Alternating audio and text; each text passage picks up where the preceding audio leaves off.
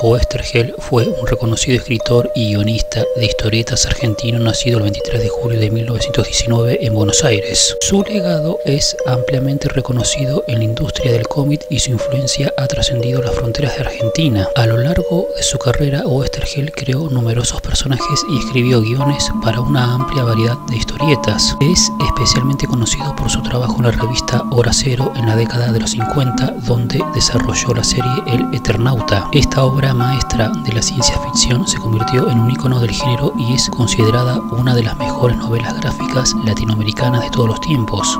gel también se destacó por su compromiso político y social y sus escritos a menudo abordan temas como la lucha contra la injusticia y la opresión. Durante la década de los 70, en un periodo de dictadura militar en Argentina, Oestergel se convirtió en un activista político y sus obras se volvieron más abiertamente críticas hacia el régimen. Tristemente, la vida de Oestergel llegó a un trágico final, en 1977, durante la dictadura militar argentina, fue secuestrado y desaparecido junto con sus cuatro hijas. Su desaparición se convirtió en un símbolo de la represión del gobierno y su valentía postura en defensa de la libertad y los derechos humanos. Hoy en día, el legado de Héctor Oestergel sigue vivo a través de su impacto en la industria del cómic y su influencia en generaciones de artistas y escritores. Valentía y dedicación a la justicia continúan siendo un ejemplo para muchos y su obra maestra, El Eternauta, sigue siendo ampliamente leída y admirada.